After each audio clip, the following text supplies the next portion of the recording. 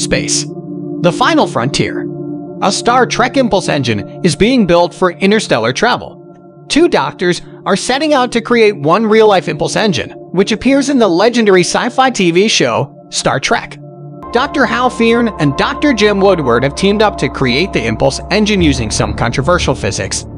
Woodward has been working on this question of using the university's gravitation field as a means of movement for more than 30 years, and now NASA has officially funded a study for the experiment to be replicated by the U.S. Naval Research Laboratory. The principle in which distant matter can influence things up close. AE Mega Drive works like an electric toothbrush. Using piezoelectric crystals and applying a specific electric frequency causes the crystals to expand and contract. In turn, that makes the device vibrate. Similarly, a Mega Drive vibrates mainly in one direction, which causes it to accelerate slightly.